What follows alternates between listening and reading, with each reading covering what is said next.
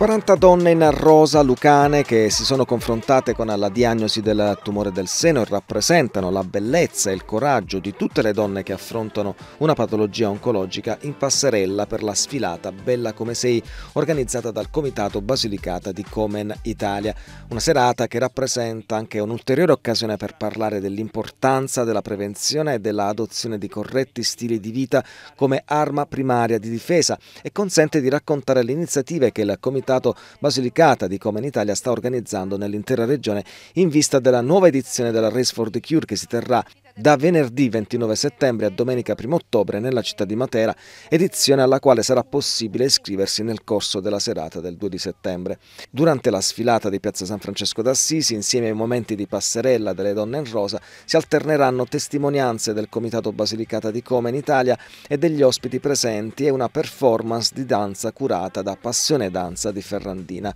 L'iniziativa darà anche l'occasione per annunciare l'apertura a partire da lunedì 4 settembre dopo il taglio del nastro che avverrà alle ore 18 della sede del Comitato Basilicata di Come in Italia presso l'ospedale Madonna delle Grazie di Matera, piano terra, grazie alla disponibilità della direzione dell'azienda sanitaria di Matera. L'edizione 2023 di Bella Come Sei sarà dedicata al ricordo di Tina Gaudiano, che con entusiasmo ha sostenuto le iniziative di Come Basilicata, in particolare in occasione dell'edizione 2022 della Race for the Cure e del concorso Vetrina in Rosa, con un omaggio a lei, alla bellezza e alla al coraggio di tutte le donne in rosa.